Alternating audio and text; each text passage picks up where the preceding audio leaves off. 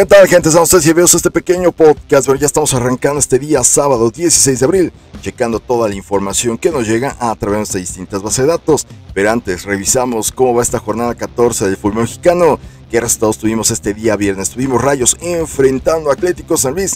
Gran resultado para el equipo local, gana 4-2 a un equipo de Atlético San Luis que en las últimas tres semanas venía acarreando una buena ola de resultados, pero acá le tocó caer de manera estrepitosa. 4-2 gana el local. Después tuvimos Tijuana enfrentando al América.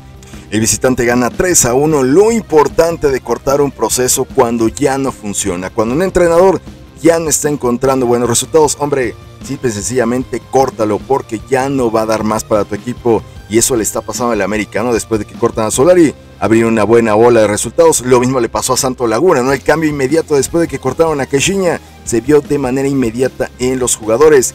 Y lo mencionamos exclusivamente por el tema de Juárez. Hombre, enfrentó al equipo de Pachuca. Sabíamos que el equipo visitante partía muy favorito para ganar este encuentro.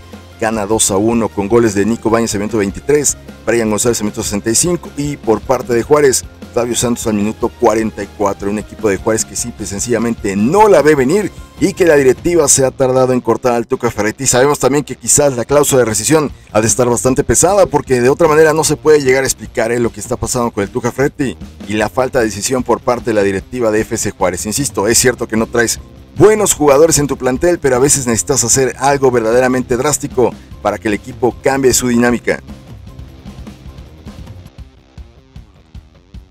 Y bueno, gente, este es el bloque de predicciones que nos llega para este día. Hay algunos partidos que ya arrancaron, están a punto de arrancar. Tenemos algunos bloques interesantes, por ejemplo, lo que pasa con la Serie A de Brasil. Tengo Corinthians enfrentando a Bailo, está cargando por el local. 1.384 partido de la Serie A.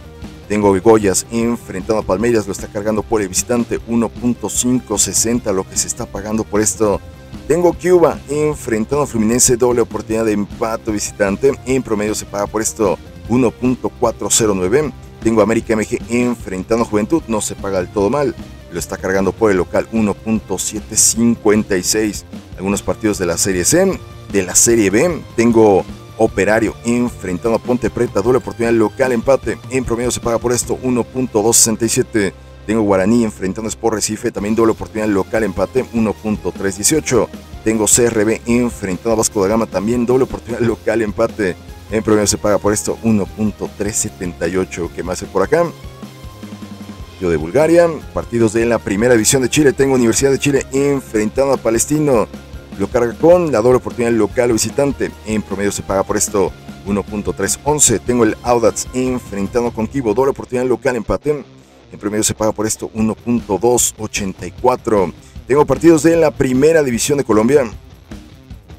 Tengo Junior Barranquilla enfrentando a Atlético Bucaramanga. Lo cara por el local 1.767.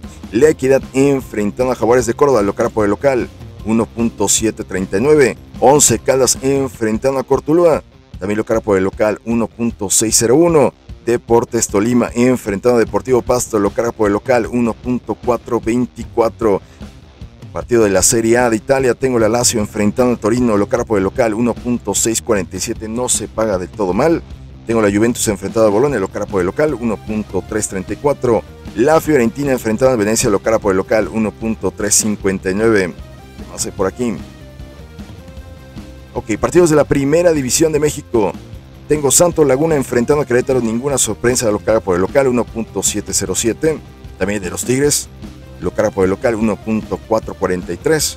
León enfrentado a Puebla, esto puede ser interesante, doble oportunidad de empate visitante. En promedio se está pagando por esto 1.744, no se paga del todo mal, ¿eh?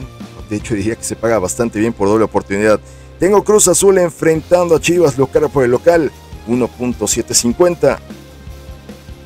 Y bueno, gente, ya para cerrar todo esto, tengo este bloque de la Major League Soccer. Tengo New Red Bull enfrentando a Dallas.